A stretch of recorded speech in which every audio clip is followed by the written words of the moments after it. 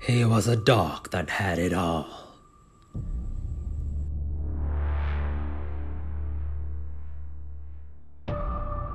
Then one day, everything was taken away.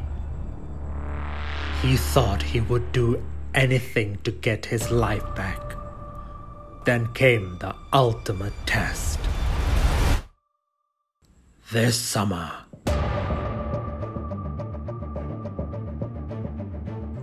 a story that will change everything.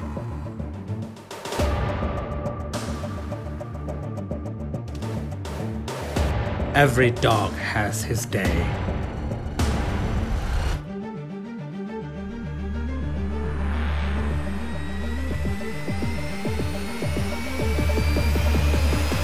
And that day is today.